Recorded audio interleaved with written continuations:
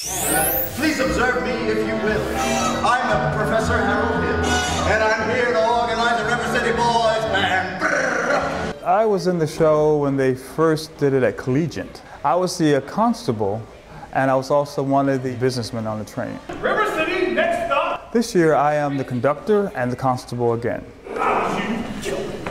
I like it when my dad is here because then when I don't know things, then I can go to him and he usually knows the answer. It's kind of hard because I kind of have to back off a little bit and stop being a theater dad, making sure she's taking her notes and listening. She likes to be with dad, but I let her know this is work. Because one time the producer gave us a little instruction. I was like, Maris, you need to do this. Somebody said, Dad, let her just do it. 76 trombones caught the morning sun with 110 cornets right behind. I like to dance, act, and sing. I thought this was a great opportunity for us to see other sides of the arts. Theater here is kind of smaller than the sanctuary that we have at our church, but they have a lot more lights here than they do at our church.